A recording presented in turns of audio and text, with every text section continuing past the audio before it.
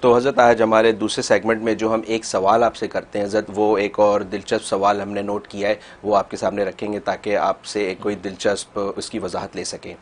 حضرت صوفیوں کے متعلق یہ اعتراض بھی کرتے ہیں لوگ کہ دیکھو ایک صوفی کتنی گستاخانہ بات کرتے ہیں اور یہ کہتے ہیں کہ ایک مومن ولی کا جو دل ہوتا ہے، وہ عرش الہی سے بھی بلند مرتبہ رکھتا ہے۔ دیکھو نعوذ باللہ کیسی یہ گستاخانہ بات کر رہے ہیں۔ تو حضرت آپ سے یہی وضاحت لینی تھی کہ ایک انسان کا دل کیا عرش الہی سے زیادہ اعلیٰ مقام پا سکتا ہے؟ اس کے بارے میں حضرت وضاحت فرمائیے۔ بکیا ویڈیو دیکھنے سے پہلے ویڈیو کو لائک کریں رحم ٹی وی چینل کو سبسکرائب کریں اور بیل آئیکن پر کلک کریں۔ شکریہ۔ اچھا سوال کیا آپ نے۔ اصل میں بات یہ ہے کہ عرش الہی خالق ہے یا مخلوق ہے؟ مخلوق ہے خالق تو نہیں ہے نا؟ اللہ کا بے شک عرش ہے لیکن وہ خالق تو نہیں مخلوق ہے۔ جی۔ اور اشرف المخلوق کون ہے؟ انسان. سبحان اللہ. تو انسان ہی عرش الہی سے تو افضل ہو گیا. اللہ اکبر مومن تو بعد کی بات ہے. جی. تو نفس انسان خود قرآن نے کہا کرمنا بنی آدم.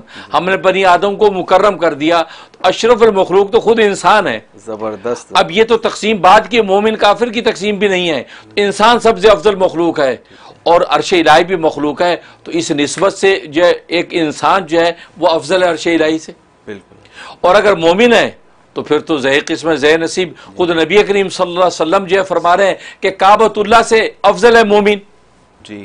ہے؟ کہ کعبۃ اللہ کو جو عظمت حاصل ہے ایک مومن کو عظمت اس کعبۃ اللہ سے بھی زیادہ ہے۔ بالکل حالانکہ کعبۃ اللہ تو اللہ تبارک و تعالیٰ کی تجلی کی جگہ ہے۔ فرمایا کہ مومن جو اس سے افضل ہے۔ سبحان اللہ۔ تو مومن کا جو قلب ہے اور مومن کی افضل تو اس کے قلب کی وجہ سے ہے۔ کہ اس کا قلب جو اصل میں ایسا مذکر مصفہ ہوتا ہے جہاں یاد الہی بسی ہوتی ہے اس کے علاوہ اس کے غیر کا کوئی تصور نہیں ہوتا۔ اس قلب کی وجہ سے پورے مومن کے وجود کی قیمت لگتی ہے۔ جی بالکل۔ کیونکہ اسی قلب میں تصدیق اس تصدیق کی وجہ سے اقرار اور اسی اقرار کی وجہ سے اعمال۔ تو مومن کا جو قلب مومن جو ہے وہ تو یقیناً جو عرش الہی سے افضل ہے۔ اور پھر بات یہ ہے کہ اصل میں لوگ بات کی حقیقت سمجھتے نہیں ہیں جھٹ سے اعتراض کر دیتے ہیں۔ اصل اس کی اصل راز یہ ہے کہ اصل میں اللہ کا جو عرش ہے یہ بھی اللہ کا تجلی گاہ ہے۔ اللہ کی جمالی جلال صفات کا وہاں پہ نزول ہو رہا ہے۔ اللہ کی جو ہے صفات کا تجلی گاہ۔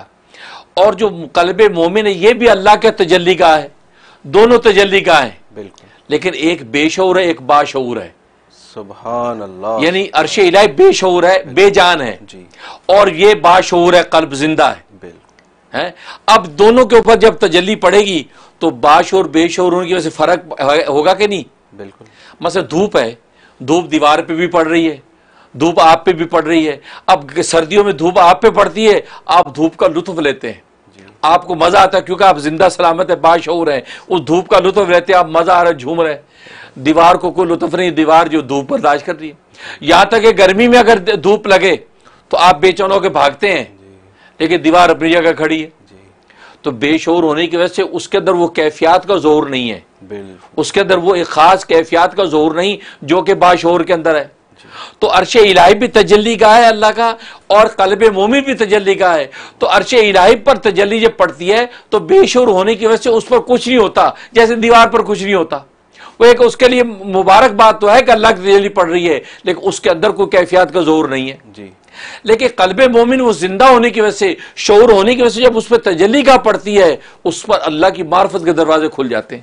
سبحان اللہ۔ اور جب اللہ کی معرفت کے دروازے کھلتے ہیں تو اللہ کی محبت پا جاتا ہے وہ قلب اور اللہ کی محبت میں وہ قلب جھوم جاتا ہے۔ جی۔ اور جب اللہ کی محبت پاتا ہے تو خدا کے قرب کی طرف ترقی کرتا ہے۔ بے شک بے تو ابواب معرفت اس دل کے اندر کھلتے جاتے ہیں کہ جس سے وہ عرش الہی محروم ہے۔ جو معرفت و محبت اس قلب مومن کو نصیب ہوتی ہے وہ معرفت و محبت سے وہ عرش الہی محروم ہے۔ جی اس وجہ سے فرمایا کہ قلب مومن عرش الہی سے بھی افضل۔ اور پھر دوسری بات یہ ہے کہ قلب مومن جو اللہ کی تجلی کا اثر لیتا ہے یہ اختیاری ہے۔ اور اس عرش الہی پر جو بھی کیفیت آتی وہ اضطراری ہے۔ وہ چاہے نہ چاہے، اس کے اوپر وہ کیفیت آ رہی ہیں جیسے ملائکہ ہیں، ملائکہ اللہ کی تجلی کا اثر لیتے ہیں، وہ اضطراری ہے۔ وہ اللہ کی عبادت میں اگر لگے ہوئے معرفت حاصل کر لیے، وہ اضطراری ہے۔ وہ چاہے نہ چاہے، خدا کی معرفت ان کو حاصل ہے، خدا کی سجدے میں گرتے ہیں۔ یہی وجہ اس اضطراری کیفیت کی وجہ سے ان میں ترقی نہیں ہے۔ لیکن قلب مومن جو ہے، اس پر جب اللہ تبارک و تعالیٰ کی تجلی پڑتی ہے، تو یہ قلب مومن جو ترقی کرتا ہے۔ یہ اپنے اختیار سے خدا کو پانے کی جب کوشش کرتا ہے اور اختیاری محنت کی وجہ سے ترقی ہوتی ہے۔ بے شک۔ اختیار میں ترقی ہوتی ہے اور قلب مومن ترقی کرتا ہے اور اتنا ترقی کر جاتا ہے کہ آسمان کے فرشتے آ کر اس کو مسافہ کر کے برکت حاصل کرتے ہیں۔ سبحان اس کے قدموں کے نیچے اپنے پر بچھاتے ہیں۔ بالکل۔ تو اس کا مطلب یہ ہو کہ قلب مومن عرش الہی سے یقیناً افضل ہے اس لیے کہ وہ وہ باشعور ہے اور وہ اس کا اثر لے کر معرفت اور محبت کی منزلیں طے کرتا ہے اور جس سے جو ہے وہ عرش الہی محروم ہے بھلے بابرکت ہے لیکن وہ معرفت اور محبت کی منزلیں طے نہیں کر پاتا۔ عجیب۔ اس لیے فرمایا کہ وہ افضل ہے۔ سبحان اللہ حضرت پر اسرار باتیں ہیں اور آپ جس انداز سے سمجھاتے ہیں۔ حضرت وہ آپ کا ہی خاصہ ہے۔ آپ ہی یہ اتنے دقیق اور باریک باتیں سمجھا۔ پاتے ہیں اور لوگوں کے ذہنوں سے خلجان کو دور کرتے ہیں۔